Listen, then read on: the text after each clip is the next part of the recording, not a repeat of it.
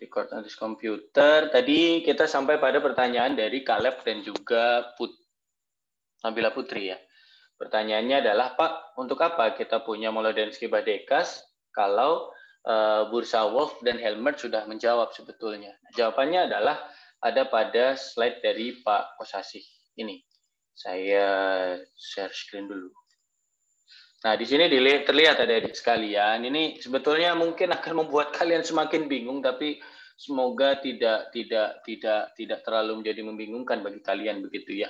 Yang pertama adalah kalau anda lihat di bagian kiri ada di sekalian, bisa anda lihat bahwa korelasi kalau kita bicara korelasi itu adalah hubungan antara nilai satu ke nilai yang sekitarnya itu ternyata hubungannya itu cukup tinggi gitu ya kalau yang bagian diagonal ini pasti satu, itu tidak mungkin tidak begitu.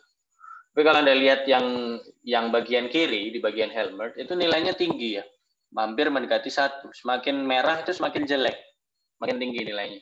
Semakin biru nilainya akan semakin rendah begitu. Kalau Anda lihat di sini nilainya itu tidak ada yang mendekati biru, tidak ada yang mendekati hijau gitu. Nilainya ada kuning, ada oranye, ada yang oranye gitu ya, ada yang biru muda dan sebagainya. Alias nilainya itu beragam tapi tidak ada yang mendekati nol. Kalau Anda lihat di sini, ini kan nol ya, biru. Hampir semua nilainya itu nol. Alias korelasi antara satu nilai parameter dengan parameter yang lain, nilainya itu kecil. Standar deviasinya itu kecil. Apa yang dimaksudkan dengan standar deviasi? Standar deviasi adalah istilahnya eh, kalau kita bicara itu tingkat kebenaran atau tingkat kepercayaan dari nilai yang kita hasilkan itu kecil. Alias dia itu semakin akurat atau semakin mudah dipercaya atau semakin bagus nilainya. Nah, kalau Anda lihat standar deviasinya kan ini gede sekali nih Anda lihat. Sampai ratusan meter, ya kan? Sampai ratusan meter. Sedangkan kalau Anda lihat di sini, ini nilainya 0,147, 0,147 kecil. Tapi ini tidak berlaku sebetulnya untuk rotasi dan juga untuk uh, skala karena pada dasarnya rotasi dan skalanya itu tidak dirubah. Yang berubah kan ketika dibawa ke sentroid itu kan sebetulnya nambah translasi saja kan begitu. Tidak ada urusannya dengan uh, scaling ataupun dengan rotasi. Sebentar ya, saya pasang uh, apa namanya uh, charger dulu. Sebentar. Silakan, gimana? Uh, kalau menurut siapa tadi? Uh, Caleb dan juga um, Nabila Putri apakah menjawab jawaban saya? Jadi intinya Molodensky Badekas itu digunakan agar hasilnya semakin akurat. Karena yang bersangkutan atau Molodensky Badekas itu berhasil menghilangkan sebuah hal yang kita namakan spatial correlation atau korelasi spasial antara satu parameter dengan parameter yang lain. Hal ini terjadi gara-gara apa? Hal ini terjadi gara-gara uh, nilai yang mendapatkan parameternya itu itu nilai yang berdekatan. Nih apa titik sekutu kan biasanya berdekatan ya nggak mungkin jauh-jauhan. Nah karena berdekatan itulah nilainya itu tidak ya baik nilainya sebetulnya hasilnya, tetapi masih memiliki hubungan satu sama lain dan itu akan memperkeruh atau membuat jelek beberapa uh, estimasi parameter. Kira-kira begitu jawaban sederhananya. Kalau Anda mau belajar lebih dalam, nanti bisa belajar di estimasi dan aproksimasi bersama Pak Satrio, atau at least Anda bisa berdiskusi dengan saya untuk bisa saya coba berikan beberapa materi-materi lanjutan dalam bentuk buku yang bisa Anda baca untuk bisa memahami lebih dalam mengenai spatial correlation ini. Gimana kalau menurut uh, Nabila dan juga uh, siapa tadi?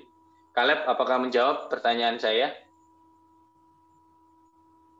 Atau kalau ah. masih bingung silahkan bisa disampaikan. Sudah Halo. terjawab Pak, sudah cukup terjawab. Berarti hubungannya sama Iya Pak. Dependen itu Pak kan tadi dibawa jauh dulu baru uh, mendekati baru ke yeah. Z2. Nah, berarti ya, betul. itu yang berpengaruh di situ ya, Pak? Iya, betul. Gara-gara dibawa jauh dulu, maka translasinya itu jadi kecil standar deviasinya. Karena ketika dibawa jauh, asumsinya itu korelasi spasialnya itu menjadi hampir tidak ada. Jadi antara satu titik dengan titik yang lain itu kedekatannya menjadi tidak berpengaruh. Kalau pakai bursa Wolf atau Helmert masih berpengaruh karena uh, semakin dekat itu sebetulnya ada ada ya tadi yang saya bilang korelasi spasial itu spatial spatial correlation yang akan membuat standar deviasinya jelek. Begitu uh, untuk yang Caleb. Uh, apa namanya clear ya atau gimana? Tunggu Pak, sudah terjawab Pak. Makasih Pak. Yuk sama-sama. Kalau Nabila gimana? Iya Pak, sudah terjawab juga Pak. Makasih Pak. Iya siap. Terima kasih. Nah dari sini ada di sekalian, akhirnya kita akan bisa uh, memahami atau akan bisa mendapatkan tiga jenis transformasi begitu ya. Yang pertama adalah transformasi Helmert, semuanya tiga dimensi ya. Uh, I need to say juga. Semuanya transformasi tiga dimensi dan kesemuanya adalah transformasi konformal.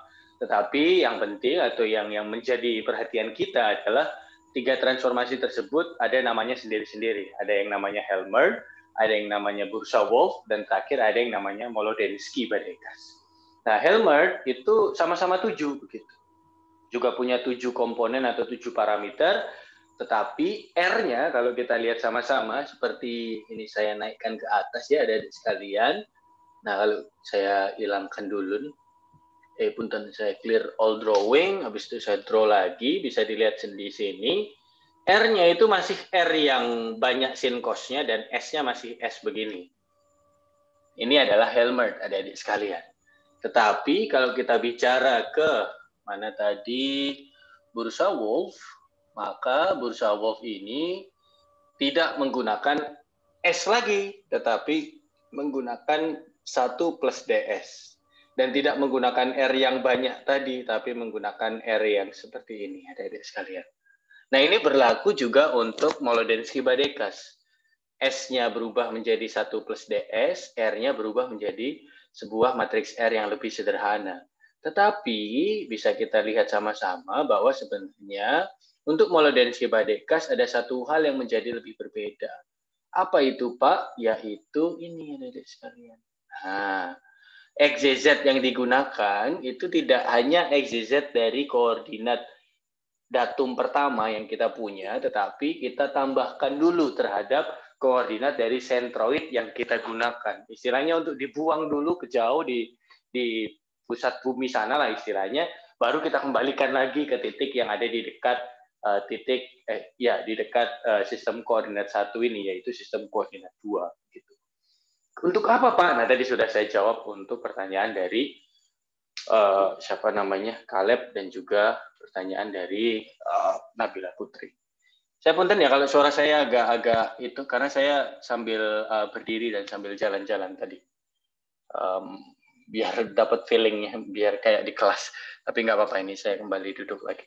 Uh, dari sini ada yang mungkin ingin bertanya, karena sudah pas 2024 nanti saya buat 5 menit pertanyaan, setelah itu saya coba review berdasarkan yang sudah saya jelaskan, ditambah dengan mungkin, oh ini UAS nanti isinya ini, ini, ini, ini, begitu secara tidak langsung atau secara umum.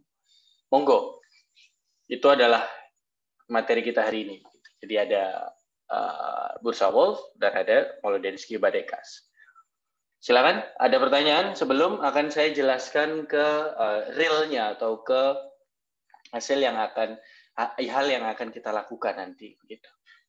Monggo, ada adik sekalian mungkin yang mau bertanya lagi selain tadi Caleb dan juga Nabila Putri? Uh, izin bertanya lagi, Pak. Ya, silakan Nawang. Gimana Nawang? uh, yang terkait sentroid Pak. Tadi sentroid itu hmm. berdasarkan referensinya itu bumi bulat ya Pak ya? Ya, jadi kayak semacam sistem koordinat yang berdasarkan dari bumi bulat. Sebetulnya itu hanyalah sebuah bantuan saja dan sentroid itu tidak pernah berubah. Tidak pernah berubah itu maksudnya uh, kalau kita bicara oke okay, kita mau pakai sentroid yang digunakan dalam Molodensky Badekas, maka yang digunakan Molo dan Badekas dulu sama yang digunakan kita sekarang atau yang digunakan di masa depan atau oleh dosen-dosen kita ya dosen dari ITB misal itu sama sebetulnya sentroidnya gitu Oh, berarti Paham? titik sentroid itu ada satu ya, Pak? Nggak, nggak berpindah-pindah gitu? Hmm, hmm. Ya, hmm. ya hmm. sudah. Terima kasih, Pak. Dan biasanya titik itu ada di pusat bumi. Atau kalau tidak, malah sekalian dibawa jauh. Seingat saya. Uh, dan ini yang jadi perhatian sama-sama ya. Kalau Anda nanti perhatikan dalam kehidupan sehari-hari, sebagai seorang geodet, uh, Molodensky Badegas ini yang paling jarang dipakai dalam kehidupan praktis. Kenapa? Karena ya tadi dibuang ke sentroid itu sesuatu yang tidak intuitif dan agak tidak mudah sebenarnya pemrosesannya. Lebih mudah menggunakan Helmert atau Wolf. Begitu. Tapi bukan berarti uh, Molodensky Badegas ini tidak perlu kalian ketahui karena kalau kalian nanti berkecimpung di dunia penelitian, di dunia S2, S3 bahkan di dunia perdosenan misal atau penelitian, Molodensky Badegas ini lebih baik digunakan dibandingkan Bursa dalam nantinya apabila kalian ingin menghilangkan dari spatial correlation itu. Begitu ada di sekalian. Jadi you can either use Helmert or Bursa Wolf or even Molodensky Badegas in order to transform from one uh, coordinate to another coordinate for another datum gitu. Ya istilahnya itulah ya bahasa Inggrisnya atau bahasa Indonesia-nya kamu bisa menggunakan Helmert atau Bursa Wolf atau uh, Molodensky Badekas dalam rangka untuk mentransformasi koordinat dari satu datum ke datum yang lainnya. Begitu ada sekalian.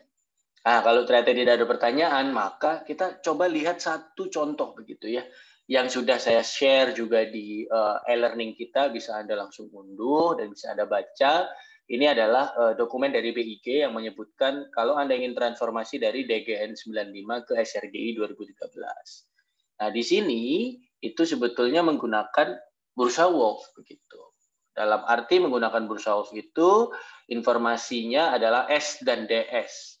Lalu ada informasi theta Z, eta sih sorry ini eta Z, eta Y dan eta X atau kalau dalam bahasa saya eta Z itu berarti kappa, eta Y itu berarti adalah uh, V, lalu eta X itu adalah omega begitu atau dalam bahasanya Pak Kosasi Z itu berarti gamma, Y itu berarti beta, X itu berarti alpha. Sama saja sebetulnya. Intinya satunya untuk X, satunya untuk Y, dan satunya untuk Z. Dan berapakah nilainya? Nilainya adalah di bawah ini ada di sekalian. Nah, nilai ini didapatkan dari 533 titik sekutu. Nah, yang ingin saya minta pada Anda adalah ada beberapa hari yang lalu ada anak yang menyebut, ada teman Anda yang saya tidak perlu menyebutkan namanya itu menyebutkan Pak boleh nggak saya minta uh, nilai tambah gitu tugas tambahan agar nilai saya bertambah. Nah oleh karena itu karena pedoman saya begini saya tidak mau yang memiliki nilai tugas tambahan itu cuma satu orang saya nggak mau kalau emang ada tugas tambahan ya itu berlaku untuk semuanya begitu. Dilakukan aja untuk semuanya, ditambahkan untuk semuanya begitu. Oleh karena itu uh, untuk yang sekarang begitu ya, ini sebenarnya opsional. Artinya begini, kalau kalian merasa bahwa saya tidak perlulah tugas tambahan, ya nggak apa-apa. Ya akhirnya nilai ini akan menjadi bagian dari tugas yang lain. Nah, tapi kalau ada yang setuju atau kalian semua setuju, tidak apa-apa, ini jadikan tugas tambahan saja untuk menambah nilai UAS maka saya akan tambah satu so, satu uh, tugas yang sebenarnya sudah saya berikan di e-learning begitu, yaitu mentransformasikan koordinat dari DGN 95 ke SRG 2013 yang sudah Anda dapatkan dari tugas sebelumnya. Kan tugas sebelumnya kan Anda mampir ke titik JKHN dan JKVN di titik JKHN itu kan ada koordinatnya ya, ada X, Y, Z-nya itu, itu kan terhadap SRGI 2013. Nah, kita anggap bahwa itu itu dalam DGN gitu. Kita anggap dulu, kita asumsikan. Nah, kita ingin merubahnya menjadi SRGI 2013. Pakai apa, Pak? Pakai parameter transformasi yang ini dan pakai rumusnya bursa. Nah, kenapa saya tidak mau membuat itu menjadi UAS ada di sekalian? Karena saya berpedoman ya sama dengan Pak Kosasi, kalau UAS dibuat itu nanti terlalu apa ya istilahnya? Malah malah tidak dapat esensinya begitu. Malah kerepotan. Nah oleh karena itu untuk uas mungkin itu tidak akan keluar. Kecuali kalau kalian merasa saya nggak mau pak ini buat tugas tambahan buat uas aja ya. Berarti nanti akan saya keluarkan di uas begitu ya. Intinya adalah saya ingin kalian mencoba satu kali mentransformasikan satu datum ke datum yang lain. Nah, datumnya yang mana kita anggap koordinat yang Anda dapatkan dari JKHN kemarin itu adalah koordinat dari DGN 95 yang harus Anda rubah ke SRGI 2013 menggunakan rumus bursa Wolf yang tadi sudah saya sampaikan dan menggunakan parameter yang berjumlah 7 adalah yang ada di sini, ada di sekali. Nah, kalau tanya DS-nya berapa Pak? DS-nya yang ini.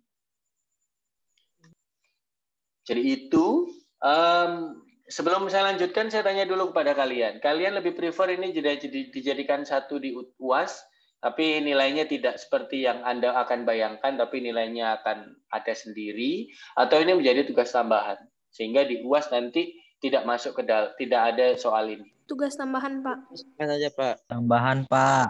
Oke, kalau Putri bilang tugas tambahan, ya. Tugas tambahan semuanya setuju ya? Tugas tambahan, Pak.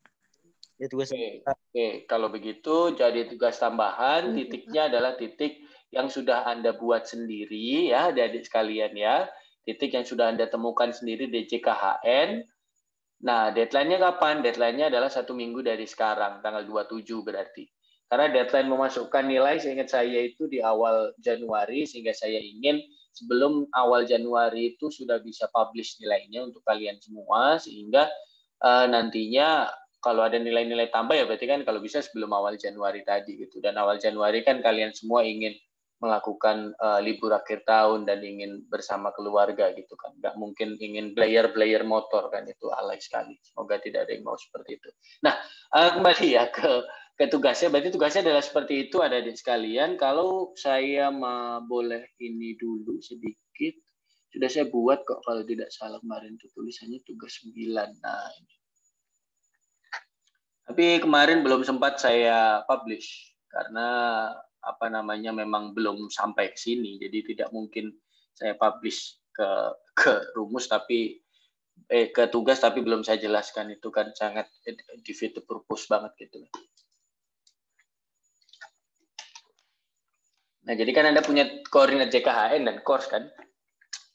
Dari minimal kan itu dua titik tuh. Nah, asumsikan itu dalam DGN 95 Lalu transformasikan itu ke dalam SRGI 2013 dengan parameter yang tadi juga sudah saya sampaikan.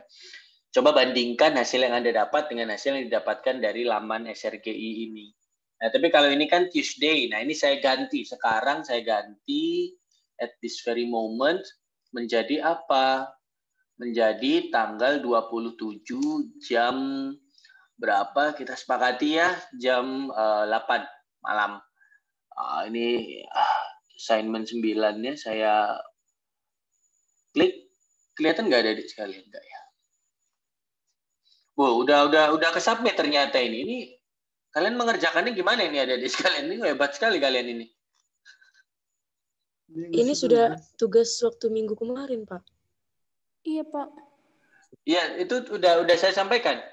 Tapi kan belum belum di belum belum kalian Kemarin ketika Anda nyobanya pakai rumus yang mana? Bursa Wolf, Molodensky Badeka, Helmert atau yang mana tuh? Helmert, Pak.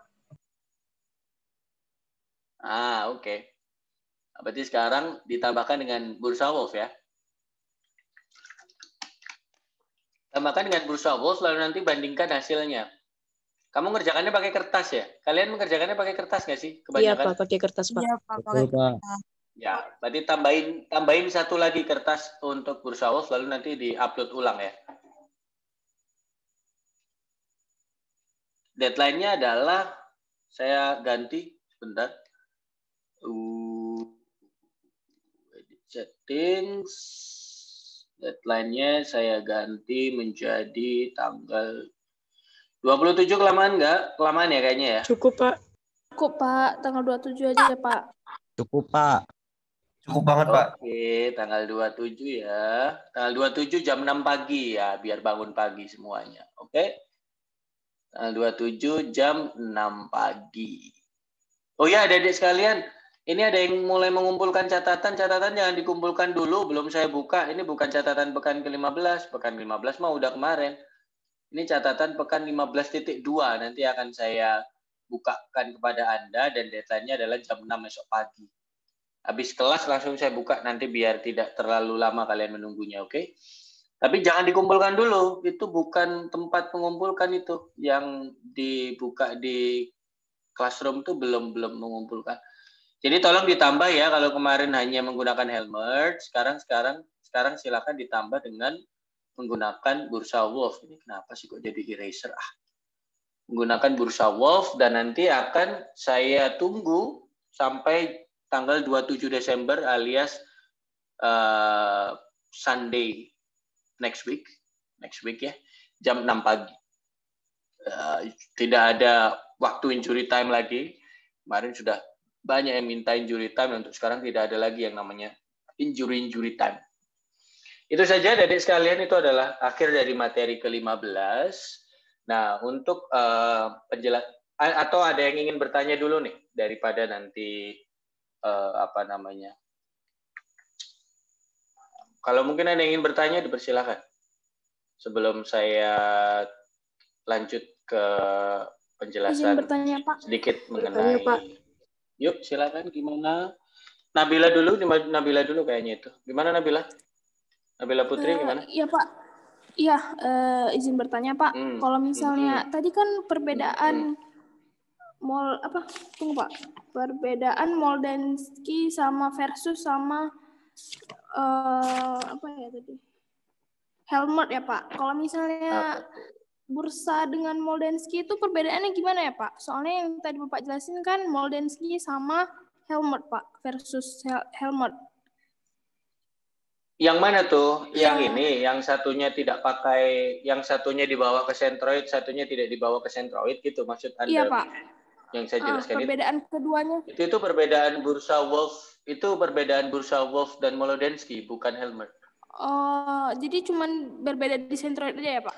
Jadi Ya, jadi kalau Anda lihat di gambarnya Pak Kosasi, slide-nya Pak Kosasi yang ini, uh, saya perlu ingatkan juga bahwa sebetulnya molodens, eh, sorry, uh, apa namanya? Udah kelihatan ya? Saya tambahkan ya. Sebentar, saya draw. Helmet sama Bursa Wolf itu sama karena dia sama-sama langsung direct gitu dari dari sistem koordinat satu ke sistem koordinat dua. Atau gini deh, biar gampang sebentar ya saya minum dulu. Saya buatkan sebuah uh, penjelasan sederhana. Tidak ada kertas kosong di sini. Oh bisa kok di sini. Clear all drawing, new share, whiteboard. Set. Ya. Ya, Pertama, kita lihat dulu Helmer. Helmer itu punya berapa? 7 parameter. Ya. Menggunakan matriks rotasi yang utuh. Yang utuh. Apa sih yang utuh itu? Bukan yang itih ya, yang utuh. Ya, masih ada sin cos gitu ya. Selain menggunakan matriks rotasi yang utuh, dia masih menggunakan skala atau S. Ini matriks Helmer. Nah, terus kita bawa ke sini. Ini adalah bursa Wolf dan Molodensky Badekas. Ini apa? Menggunakan matriks rotasi yang sudah disederhanakan. Asumsi sudut sangat kecil gitu kan. Menggunakan delta S atau S eh, atau 1 plus delta S gitu ya sama dengan S. Nah, jadi ini adalah perbedaan Helmer dan Bursa Wolf serta Molodensky Badekas. Dalam hal ini ini juga sama-sama. Bentar. 7 parameter juga ini sebenarnya begitu ya. 7 parameter. Tetapi kalau buat Molodensky ada eh, dibutuhkan informasi mengenai siapa, mengenai uh, apa namanya koordinat sentroid tadi. Nah kalau kita tidak tahu sentroid kan kita nggak bisa pakai ya. Intinya sebenarnya sama-sama tujuh parameter gitu. Nah jadi ini adalah beda Helmer dan Molodensky Badekas dan Bursa Wolf. Jadi Bursa Wolf dan Molodensky Badekas ini ada di satu rumpun begitu di Helmer. Helmer di kiri, Bursa Wolf dan Molodensky Badekas di kanan. Nah tapi dalam garis yang kedua, ini saya bikin garis dulu satu ya. Aduh, bentar. Nah, kalau saya buat garis lagi gini, ini kan perbedaan gini ya. Nah, saya buat lagi satu perbedaan. Nah, kalau bursa Wolf itu apa? Merupakan akan transformasi langsung gitu ya antara datum 1 ke datum 2. Sedangkan kalau kita bicara sedangkan Molodensky, aduh, dan alah apa sih? Calvin baru mau masuk. Molodensky Badekas ya, ini menggunakan centroid dulu di antara datum 1 ke datum 2. Jadi dari datum 1 dibawa ke centroid dulu baru dikembalikan ke baru dibawa lagi ke datum 2. Nah, ini adalah Molodensky Badekas. Begini, ada-ada sekalian. Jadi, ini Helmert, nah ini bedanya dengan Bursawov Molodensky Badekas, nah ini Bursawov terhadap Molodensky Badekas itu sendiri. Begitu uh, Nabila Putri atau Nabila atau Putri. Apakah uh, menjawab? Uh, iya Pak, cukup menjawab Pak. Terima kasih ya Pak. Ya, thank you sama-sama. Tadi ada satu yang ingin bertanya tadi? Fikri ya itu? Izin bertanya Pak. Maaf sebelumnya. Oh iya, Ini saya si, iya sikap Pak, soalnya uh, device saya. Oh iya. Saya satu device. Saya kira Jessica, saya kira Rozi berubah ini ya. Silakan silakan. Nanya apa Jessica?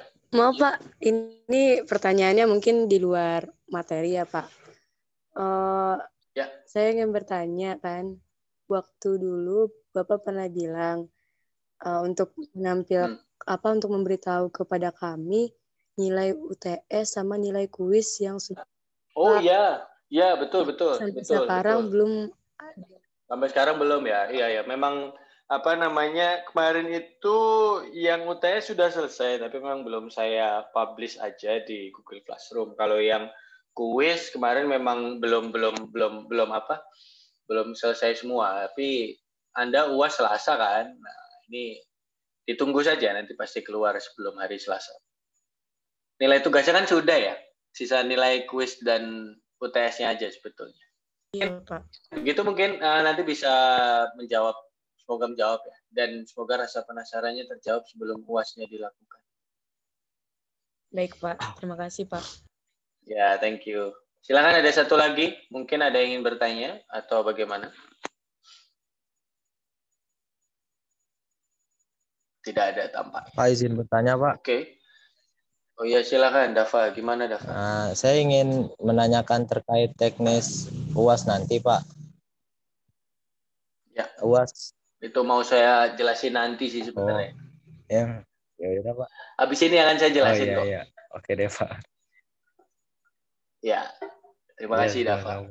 Ada lagi? Satu lagi mungkin yang mau bertanya? Maaf Pak, izin bertanya. Uh, silakan. Siapa nih? Wima ya. Gimana Wima? Uh, mungkin ini agak jauh dari pembelajaran kita. Soalnya tadi saya agak dengar kata-kata SRGI. Jadi saya ingin bertanya tentang SRGI, Pak.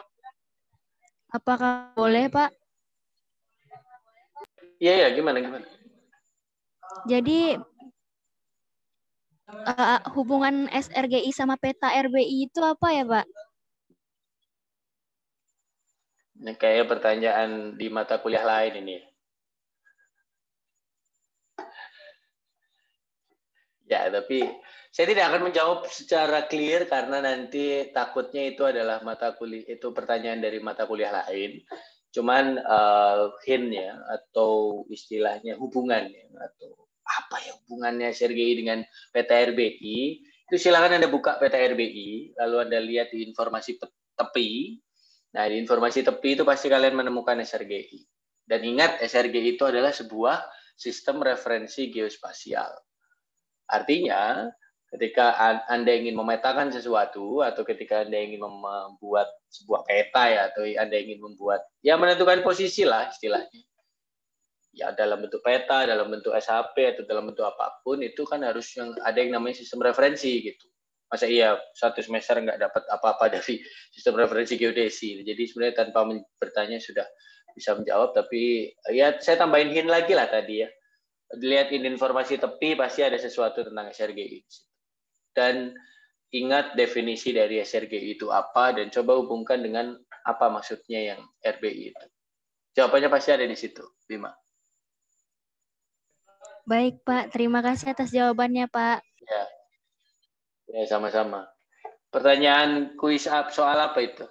Mata kuliah apa itu anyway? Geodesi geometrik. Hmm? Nah ya oke, okay, thank you. Sudah saya duga. Ada lagi satu, silakan. Saya pause. Eh sorry, pause dulu. Saya menyampaikan yang ditunggu-tunggu oleh Dava. Terakhir harusnya jam 9 ini, jangan sampai lebih dari jam 9. Oke, kalau begitu ada adik sekalian, kenapa saya pakai ini ya, tapi nggak apa-apa deh.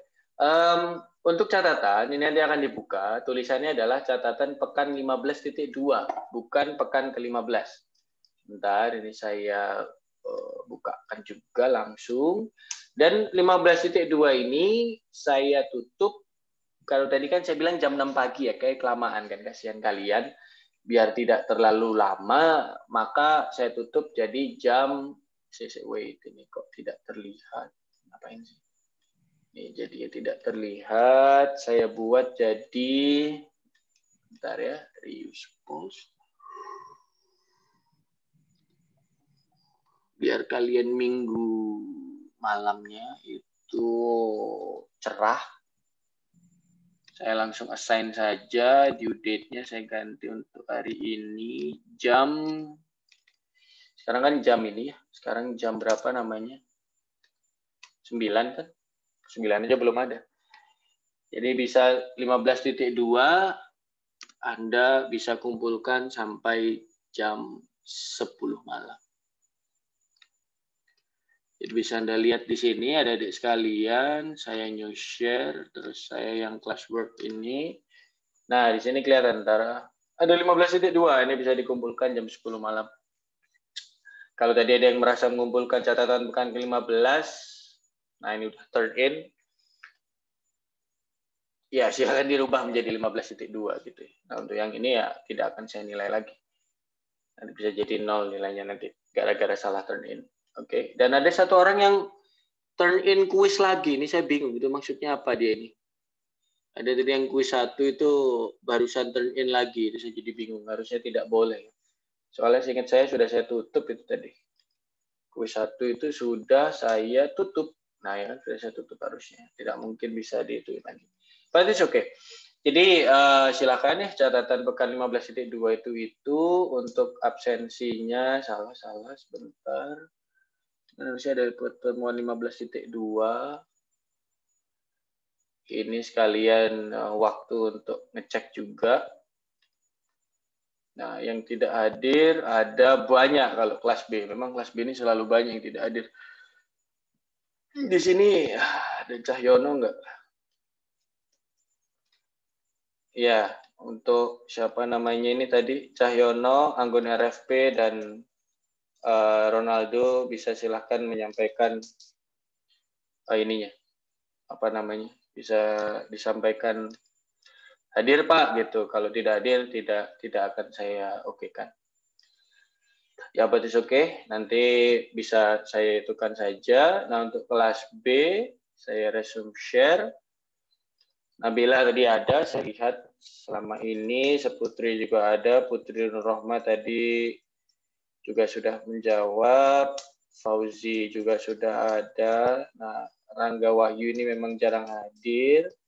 Tiffany ada, Weni juga ada tadi, tapi hilang sepertinya. Tasya ada, Catur juga ada, Firman Juliansyah hilang.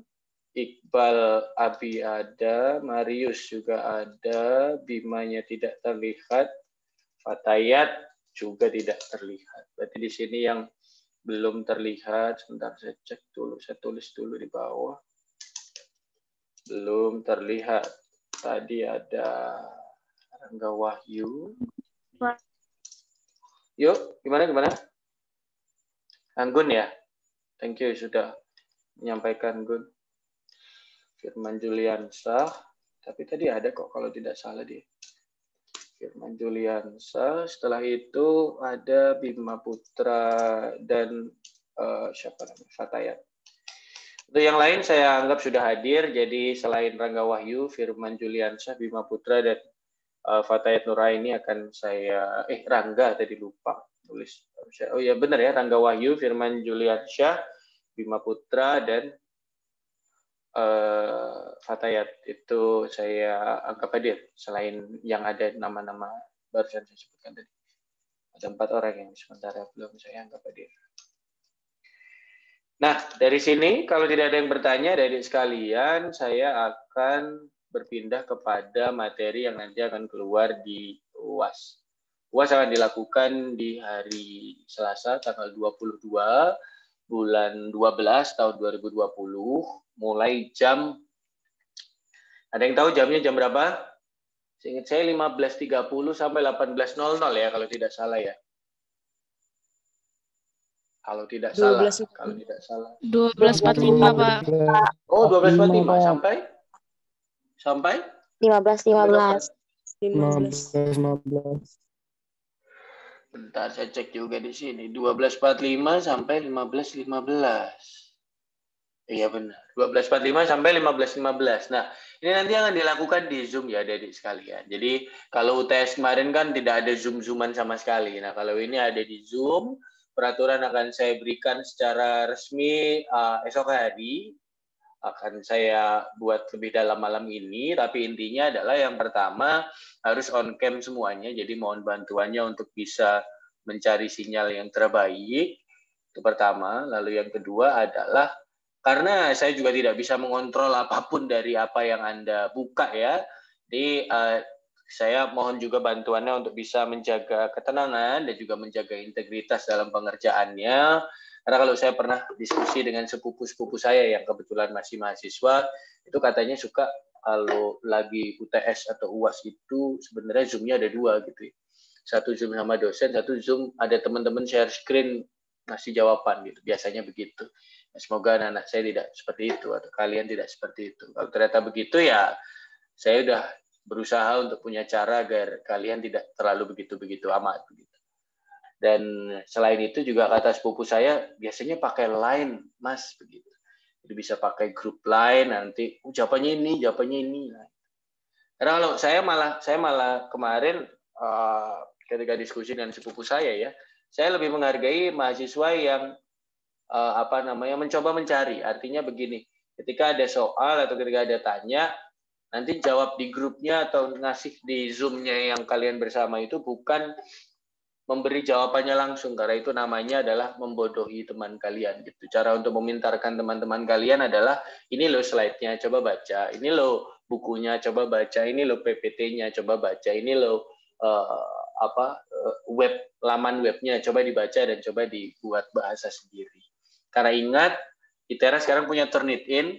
Kemarin ada beberapa tugas yang sudah saya bagi dua kan nilainya kalau Anda lihat Nah, untuk yang sekarang, untuk UAS akan betul-betul lebih kuat lagi. Jadi saya pakai Turnitin. Kalau nanti ada terindikasi sama jauh lebih dari 60 65 persen, maka UASnya akan diekan. Jadi kalau ada yang tidak percaya, silakan lihat Turnitin itu apa. Turnitin itu adalah untuk melihat satu dokumen dengan dokumen yang lain sama atau tidak, atau satu dokumen dengan tulisan di internet itu sama atau tidak. Ketika tulisannya itu sama sampai 65% dengan dokumen yang tersedia di internet, berarti artinya kamu tidak berusaha untuk membuat kata-kata sendiri. Karena internet ini itu tidak mencari yang kata-kata sendiri, tapi mencari yang kata-kata persis di internet. Kalaupun ada ganti satu dua kata tetap terdeteksi di internet. Artinya saya encourage Anda untuk untuk yang UAS ini dan juga untuk yang lain itu bisa menggunakan bahasa Anda sendiri dan bagaimana Anda pahamnya. Karena kan itu yang tujuan dinilainya, bukan cari nilai bagusnya. Percuma nilai bagus tetapi uh, tidak mengerti apa-apa gitu. Itu malah defeats the purpose gitu, bayar mahal-mahal tapi hanya untuk uh, apa namanya mendapatkan nilai bagus. Ya, saya tidak akan menyalahkan orang yang memiliki pikiran begitu, tapi bagi saya itu sangat sangat-sangat menyalahi tujuan Anda berkuliah. Gitu. Nah, jadi jam 12.45 sampai 15.15, jumlah soalnya ada 6 ada adik sekalian, dan waktu pengerjaannya saya buat 100 menit dengan 5, 5, 5 menit kelama, eh, kecepatan ya, dengan 10 menit waktu saya berikan untuk uh, apa namanya mengunggah dari si soalnya tersebut dari jawabannya tersebut. Jadi uh, kalau kita lihat 12.45 sampai 15.15 ini kan 2 jam 30 menit ya. Uh, eh, 150 menit. Nah, saya tidak akan pakai 150 menit itu total, tapi saya hanya akan memakai mulai dari jam 12.45 sampai 100 menit setelahnya. Berarti artinya 12.45 sampai jam 15 berapa tuh? 45 60 itu 13.45 tambah 40 Ya, berarti sekitar sampai sebelum jam 3 lah ya. Kalau Anda lihat itu kan itu 2 jam 30, saya tidak mau tidak mau 150. Saya cuma mau 100 menit saja. Jadi mungkin setengah tiga kita udah selesai tugas apa namanya uh, uasnya. Jumlah soalnya ada 6, ada adik sekalian, jumlah poinnya sama tetap 100. Nah, untuk hitungan, hitungan dalam arti ini adalah hitungan yang bukan seperti tugas sembilan yang saya berikan kepada Anda. Tetapi hitungan ini lebih pada mengecek bagaimana kemampuan Anda untuk bisa memahami konsep merubah dari satu rumus ke rumus yang lain. Nah, hitungannya akan ke seperti itu, bukan hitungan yang istilahnya hanya crunching numbers saja tidak, tapi mencari pemahaman mengenai konsep. Nah, hitungannya berapa Pak? Hitungannya nilai eh, nilai. Soalnya hanya ada satu saja. Nah, materi apa saja sih yang keluar? Kita akan melihat sama-sama dari uh, week 9 sampai ke week uh, punten, dari week ke-9 sampai ke week 16 ada adik sekalian. Dari sini bisa kita lihat bahwa di week 9 kita ada pembahasan mengenai datum. Nah, datum ini itu nanti akan dikeluarkan datum di Indonesia ya. Saya saya lebih khususkan lagi. Jadi nanti akan ada soal mengenai gimana sih datum di Indonesia itu yang berhubungan dengan datum perkembangan datum yang ada di Indonesia.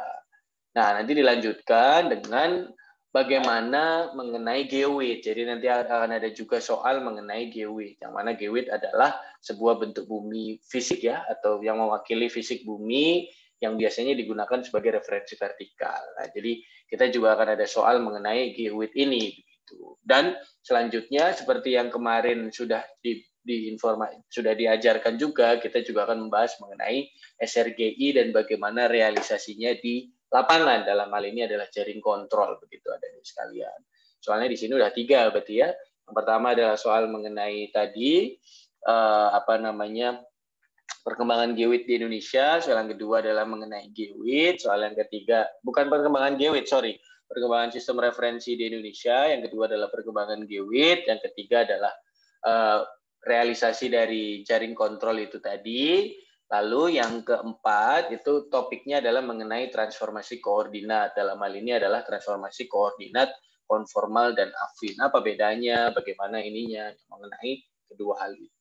Nah, setelah itu, Nanti kita lanjut ke yang kelima dan yang keenam. Yang kelima dan yang keenam akan tidak akan jauh-jauh dari Helmer, Molodensky Badekas dan juga Bursa Wolf. Wabil khusus, kalau bisa kita bilang, yang kelima berarti nanti tentang Helmer, tiga dimensi. Yang keenam adalah tentang Bursa Wolf dan juga Molodensky Badekas. Jadi soalnya ada enam.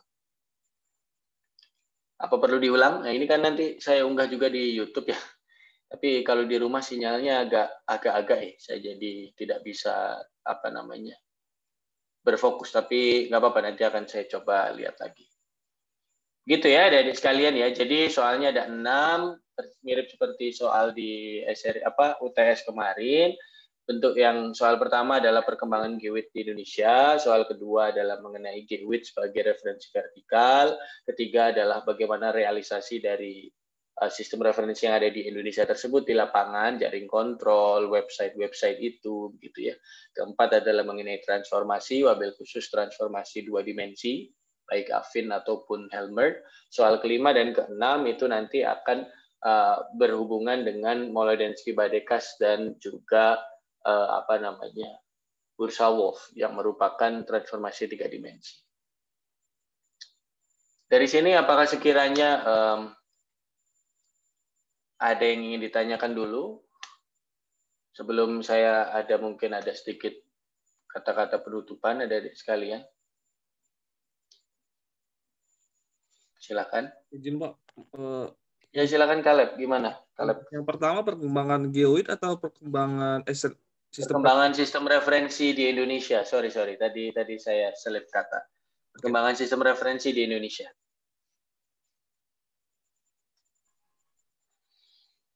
Oke ya, adik-adik sekalian ya, kalau ternyata tidak ada, maka kita bisa flashback di pertemuan pertama, yang mana saya membahas mengenai untuk apa sih sebetulnya SRG itu ya. Jadi SRG ini adalah sebuah mata kuliah yang kalian alami di semester 3 harusnya kalau urut, yang mana dalam mata kuliah ini isinya itu adalah mengenai pengetahuan tentang apa? Tentang konsep perkembangan dari sistem referensi geodesi dan proses transformasi antar datum. Sehingga ada tiga tujuannya. Yang pertama adalah mampu menjelaskan konsep bentuk bumi, sistem koordinat, dan sistem referensi geodesi sudah dilakukan di UTS. Nah, yang kedua adalah apa itu datum geodetik, kemarin juga sudah dilakukan di UTS. Perkembangannya di Indonesia datum geodetik ini gimana, atau sistem referensi geodesinya itu, baik secara praktis maupun secara hukum. Jadi nanti perkembangan sistem referensi itu tidak hanya secara praktis ya, tapi juga ada hukum-hukumnya sedikit. Nah, lalu yang terakhir adalah transformasi antar datum secara logis dan menghitung. Dan ingat, menghitung ini ada di sekalian, saya buat sebagai tugas tambahan, jadi tidak masuk ke dalam UAS. Di UAS ada menghitung, tapi bukan menghitung yang crunching numbers menggunakan kalkulator, tapi lebih ke bagaimana rumus ini kok bisa menjadi rumus yang itu. Bagaimana caranya? apa yang terjadi di antara dua rumus ini. Seperti itu kurang lebih. Saya harap dengan selesainya kuliah sistem referensi geodesi ini ada di sekalian, walaupun di malam yang lumayan sendu ini, kalian mendapatkan ilmu bahwa oh iya ternyata rumusnya adalah seperti ini. Oh ternyata bentuk bumi itu kayak gitu. Sistem koordinat itu ini dan sistem referensi geodesi itu seperti apa. Dan datum-datum itu seperti apa dan terakhir transformasi antar datum itu seperti apa. Nah, saya harap nanti kalian selesai kuliah ini, ya habis ini berarti kan selesai kuliah ini, itu kalian sudah bisa memahami tiga konsep tersebut. Tiga capaian pembelajaran yang saya inginkan kalian dapatkan di mata kuliah SRG ini. Artinya, eh, apa yang saya jelaskan dan apa yang sudah Pak Kosasi jelaskan, itu tidak akan jauh-jauh dari tujuan kita untuk mempelajari, mengajari Anda dalam tiga konsep dasar ini atau tiga hal yang ada di bawah itu yang kayaknya sudah tertulis eh, terlihat ya di sini. Nah kalau ada yang merasa aduh saya kok belum mendapatkan, nah nanti jangan heran kalau nilainya juga mencerminkan seperti itu dan sebaliknya gitu ya. Saya alhamdulillah sudah pak nanti bisa dilihat nilainya apakah mencerminkan uh, tingkat pemahaman anda tersebut. Intinya dari saya adalah ini salah satu materi kuliah dasar ada di sekalian sangat baik dan sangat bagus apabila Anda bisa ulang-ulang, Anda bisa baca terus bukunya dan Anda bisa update terus pemahamannya agar apa? Agar apa yang terjadi ini atau apa yang uh, sudah dipelajari ini bisa Anda aplikasikan tidak hanya di sekarang, tapi juga di masa depan, baik itu di mata kuliah-mata kuliah di semester selanjutnya, ataupun di dunia sehari-hari nanti setelah Anda lulus di Teknik Geomatika Institut Teknologi Sumatera. Update terakhir ada di sekalian, kalau kalian masih ingat, kemarin kan kita belajar ICRF ya, International Celestial Reference Frame, ternyata ICRF sudah baru, tidak hanya ICRF 1 atau 2, tapi ada ICRF 3. Nanti akan saya coba share di di grup mengenai paper yang paling barunya. Jadi kalau ada yang tanya, Pak ICRF sekarang ada berapa? Ada tiga yang paling baru, iterasi paling baru, menggunakan metode yang lebih baik, menggunakan dan menghasilkan akurasi yang juga lebih baik. Kalau ada yang masih ingat tuh ICRF kemarin. Itu saja mungkin dari saya, adik sekalian. Saya selaku pengampu uh, sistem referensi geodesi dan juga mewakili Pak Posasi, memohon maaf apabila selama satu semester ini ada salah kata, atau mungkin ada yang mungkin kurang terpuaskan kaliannya begitu ya atau merasa mungkin uh, kurang baik nah itu nanti akan bisa diberikan komentarnya dalam sebuah uh, kuesioner anonim ya, tidak akan pernah diberikan namanya kepada kami. Artinya sampaikan aja nanti di situ se, sejujur-jujurnya gitu ya. Karena itu baik semua kritik itu itu baik bagi uh, apa istilahnya? Baik bagi kami nanti, baik bagi pembelajaran kita di masa depan gitu ya. Kurang ini Pak, oh, sudah lebih di sini tapi kurangnya di sini dan sebagainya. Karena kan siap semua tahu ya tiada gading yang tak retak, semua manusia pasti tidak sempurna sehingga saya mohon maaf apabila ada kesalahan karena kebenaran hanya milik Tuhan. Itu saja mungkin dari saya adik sekalian. Eh, kalau ternyata tidak ada lagi yang bertanya bisa saya tutup. Eh, sekian dari saya. Selamat malam semuanya. Wassalamualaikum warahmatullahi wabarakatuh dan selamat malam.